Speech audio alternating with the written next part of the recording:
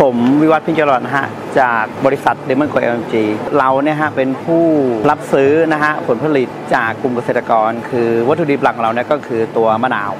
จากนั้นนะฮะเราก็นำมาแปรรูปเป็นน้ำมะนาวแช่แข็ง แล้วเราก็มีแนวคิดนะฮะในการเพิ่มมูลค่าจาก by-product เราก็เอาตัวน้ำมะนาวเนี่ยมากลั่นน้ำมันหอมระเหย ซึ่งตัวนี้ก็จะเป็นสารตั้งต้นของพวกเครื่องสำอางแล้วก็เกี่ยวกับงานในสปา หรือว่า เป็นพวกอออาหารเสริมต่างๆนะครับ แล้วก็เอาเปลือกมะนาวที่เหลืออีกไปทำแนวคิดจะทำแพคเกจจิ้งนะฮะจากวัสดุธรรมชาติ แล้วเราก็ไปทำภาพจากเปลือกมะนาว ซึ่งแนวคิดอันนี้ก็คือมาจากพ่อหลวงคือในหลวงรัชกาลที่ 9 ครับ คือเริ่มแรกเราเป็นลูกชาวไร่เราเป็นลูกเกษตรกร แต่จริง ๆ เราอะไม่ได้จบมาในสายนี้เลยคือเราจบช่าง แล้วเราก็ออกมารับซื้อรับซื้อมะนาว อเรารับซื้อมะนาวเนี่ยเรามีลูกไร่พอมีลูกไร่คือผลผลิตเนี่ยมันออกมามากกว่าที่ท้องตลาดต้องการ บางทีถ้าเกิดเรารับซื้อไม่ได้เนี่ยคนไร่ก็ต้องเอาผลผลิตนั้นไปทิ้ง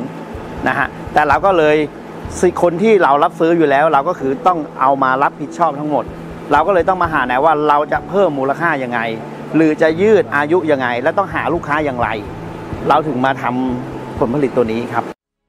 ทั้งนี้คือเราต้องขอขอบคุณนะฮะกระทรวงอุตสาหกรรม กรมส่งเสริมอุตสาหกรรม และกองพัฒนาเกษตรอุตสาหกรรมนะฮะที่ทำให้เราเนี่ยได้รู้ว่าจริงๆอะ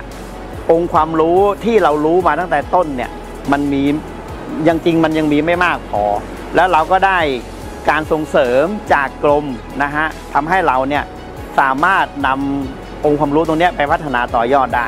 ถ้าเกิดสิ่งที่เรายังไม่ได้รับรู้เนี่ยให้เราศึกษา